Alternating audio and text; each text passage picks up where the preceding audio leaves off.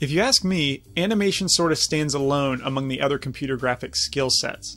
I would compare animation to the lead singer of a rock band, modeling to the lead guitarist, rigging to the drummer, and texturing to the bass player. Uh, even though animation is nothing without the others, it tends to get all the glory. And primarily as a modeler myself, this tends to rub me the wrong way. However, on this project and every other project where I've dabbled in animation, this is hard to say, but I kind of understand why. Uh, in my opinion, animation is the most technical discipline after rigging. So animation is a tough thing. Well, I should clarify, good animation is a tough thing. Thankfully, we have an animation Bible of sorts passed down by Walt Disney's famous Nine Old Men. These guys documented 12 principles of animation that, when applied, certainly improves quality. So, in no particular order, number one, squash and stretch. This can be seen a lot in stylized cartoon animation, where the purpose is to convey the effects of an object's weight through compression and extension. Uh, think about a golf ball. Holding it in your hand, it feels rock hard, but if you watch a slow motion video of a golfer hitting the golf ball, it compresses a surprising amount. Uh, number two, anticipation. It's another way to direct the audience and almost foreshadow what's about to happen.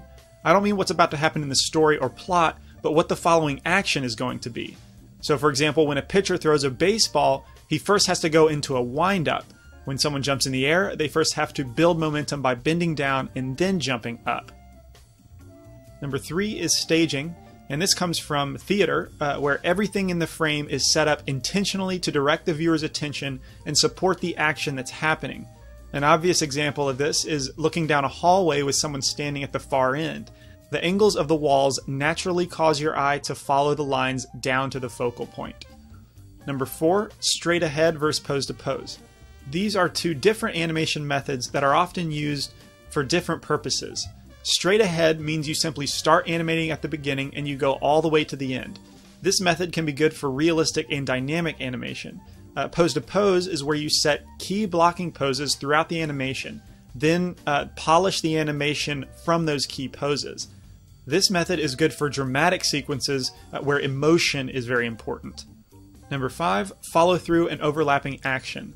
This is based on the laws of physics, things like drag and jiggle and reaction, it's movement that is the result of another force. So again, with a pitcher example, notice how his body leads the action while his throwing arm is dragged along by his body and shoulder.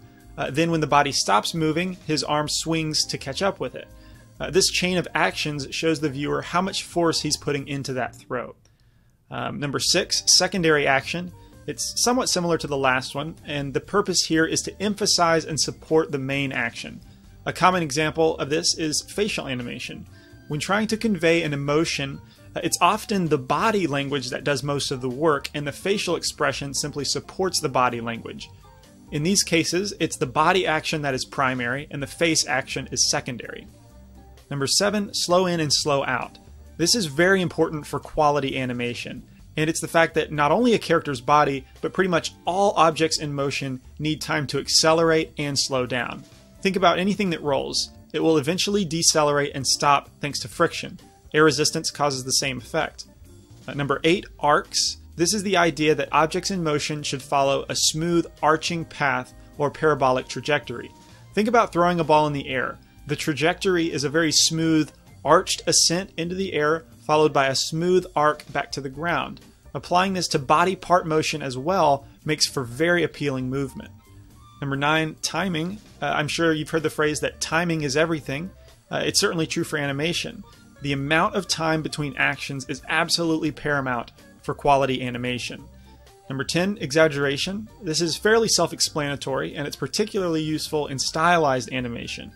Pushing a movement or facial expression beyond a realistic limit can really emphasize the point you're trying to make in your animation.